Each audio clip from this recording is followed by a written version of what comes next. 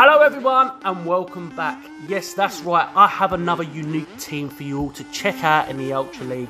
So, if you're all struggling and you're thinking, I can't win a battle, I can't win a battle, I don't have the meta Pokemon, I'm telling you now, people, you do not need the meta Pokemon. All you need is good strategy and the right tactics, know when to switch out, and have the right moves on your Pokemon. As you can see, we're running a Granbull with Charm and Crunch. We're running a Beartic with Charm and Ice Punch. And we're running a Giratina with Dragon Breath and Dragon Claw. Now, this is basically a Charm team.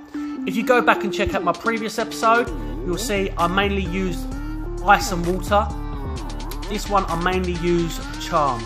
But it's not a complete charm team. As you can see, we do have a meta Pokemon in there. We do have Giratina. You can't really use three Charmers. You can't really use three of any Pokemon because one Pokemon will just clear a map. If you want to try something like this, give it a go, people. I'm telling you it works. You do not have to um, use meta Pokemon. Just have the right tactics. Have the right team set up. Know when to switch. Know what you're doing. Know when to shield.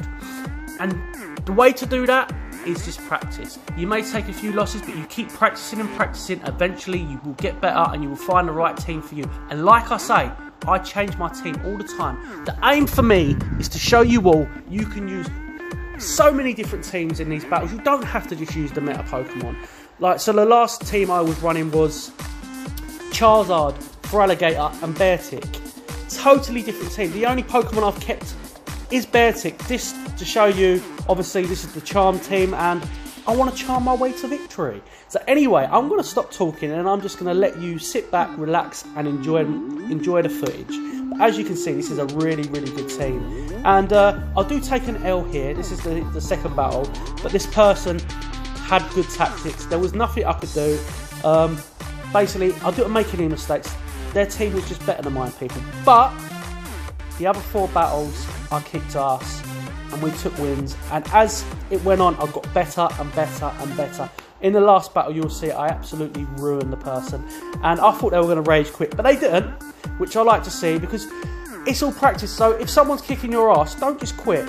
Carry on with the battle. Learn from it. Learn how can I take that Pokemon out. I'm struggling against this Pokemon. Like so, a Pokemon I struggle against is um, Melmetal. I really struggle against Melmetal. Now, what I've done is I learned. I learned from my mistakes, people, and that's what you've got to do. Learn from mistakes. Don't just quit and think, oh, bloody, I can't take that Pokemon. It's too hard. Learn from your mistakes. Learn to counter the meta Pokemon and use Pokemon people are not going to expect. If people do not expect it, they don't know what to do. So everybody's expecting things like Giratina, Melmetal as I'm battling now because it's such a great tank um, Swampert, other great water Pokemon like that. But if you use something unexpected, people are going to be like, "What's this? What what what move set is this running?" And then they make mistakes. As you see, so many people make mistakes when they battle me because they don't know what to do with my team. Anyway, I'm going to stop talking, and I'm going to let you uh, view the footage. So sit back, relax, and enjoy.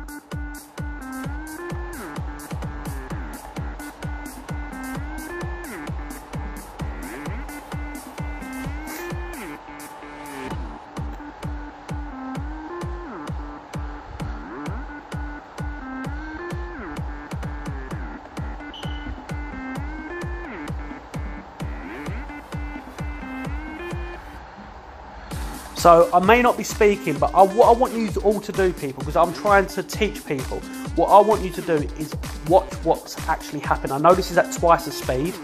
You've got to try and keep up, but watch what's happening. When I'm switching, what my opponent's doing, when to get the charge move, because sometimes it's not all of, sometimes you want to farm and build that charge move up and release it at the right time.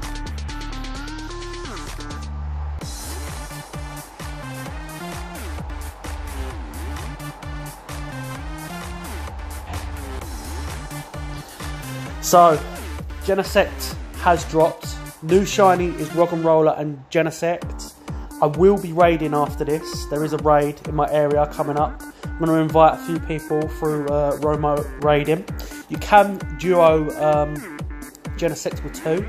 Um, I think it's actually possible to actually solo it if you had someone sitting in with you. So you'd have to have two people, but the person who's sitting in with you will be a best friend, and you get actual uh, damage boost through your best friend, and you can actually solo it.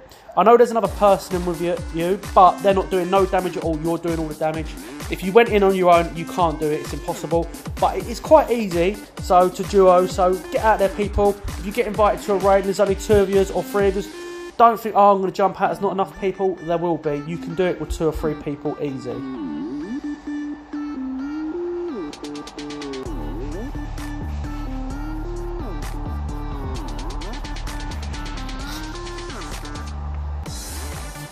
Yeah, please comment in the section down below what teams you're all running, whether you run a similar team to me, whether you run a unique team. But please, people, try different teams. If something works for you, it works for you.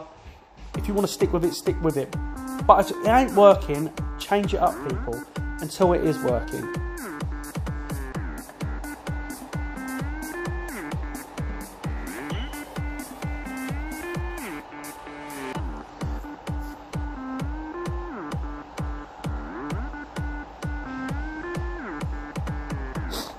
Also, feel free in the comment section to post whether you've got a new shiny, you've got Roggenrola, or you've got Genesect, or a new shiny in general. Um, the last shiny I got was um, Solrock in the wild, wild Solrock. Maybe I can put that footage on here for you because I do have it recorded.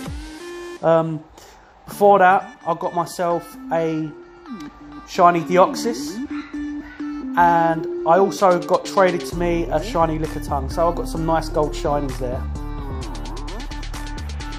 Here we go, Granbull versus Granbull, people. Who's got the better Granbull? Looks like. I've got the charge move off first. That's all it was about on, on this battle. And what a silly time to uh, use a shield. Now check this out, people. Just check this out, right? I'm not, apparently, I'm not super effective. Look how much damage I'm actually doing to Gengar. I have to shield because he will wipe me out if he hits me with the, uh, I think it's Shadow Punch he's using. Yeah, Shadow Punch. If he hits me with Shadow Punch, he will wipe me out, so I do have to shield. But just check how much damage Beartic is doing to Gengar, even though it's not super effective.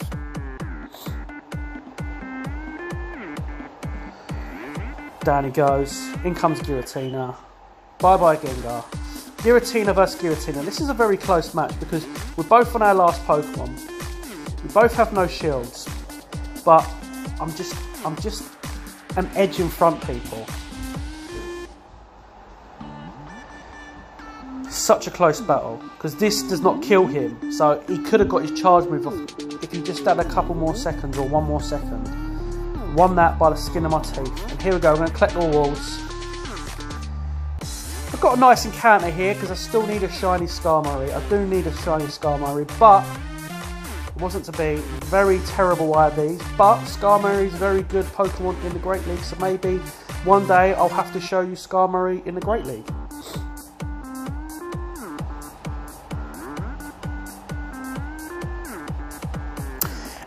Anyway, I hope you all enjoyed this footage.